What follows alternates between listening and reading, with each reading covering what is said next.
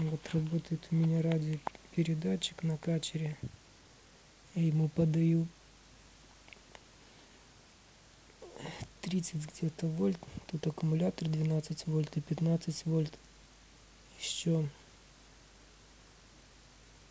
от вот того источника питается зарядного для аккумулятора последовательно включено и через 50 ом резистор, ну там падение на 50 ом резисторе идет, какие 3-4 вольта.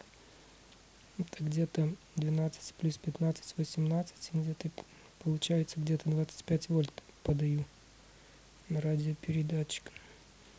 И вот монитор даже такие шероховатости.